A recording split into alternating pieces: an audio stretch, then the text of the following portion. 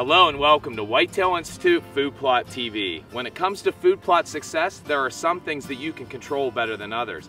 And of all those things that you can control, nothing offers the benefit of having your soil tested by a qualified soil testing laboratory anytime you're even considering spreading lime and fertilizer.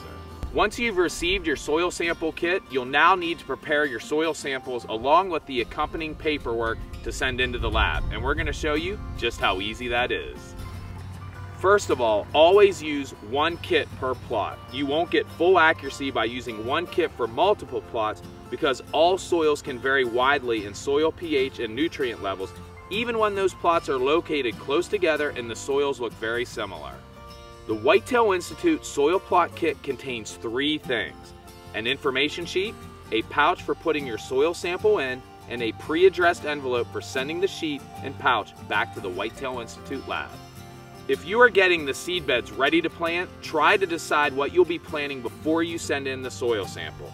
If you tell the lab what forage you're planting and whether you are planting or maintaining the plot, the lab can make very precise recommendations. With the Whitetail Institute Soil Test Kit, this is very easy. Just check the appropriate block on the information sheet. Also, identify the sample with numbers or your name for the plot.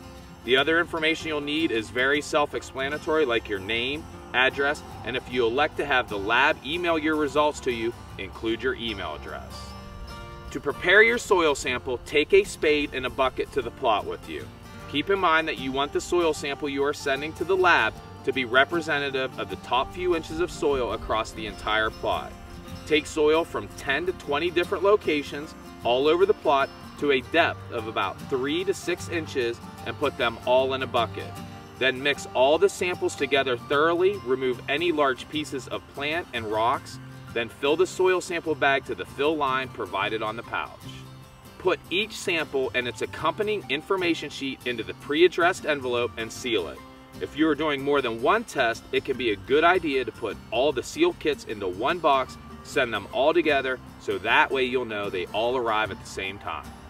Thank you for joining us on Whitetail Institute's Food Plot TV. Remember, soil samples are inexpensive, they're easy to do, but they are the difference between an awesome looking food plot and complete total failure. Yes, they are that important. If you have any questions at all, feel free to call our in-house consultants at the number on the screen, visit our website at whitetailinstitute.com, and thank you all once again for joining us on Whitetail Institute's Food Plot TV.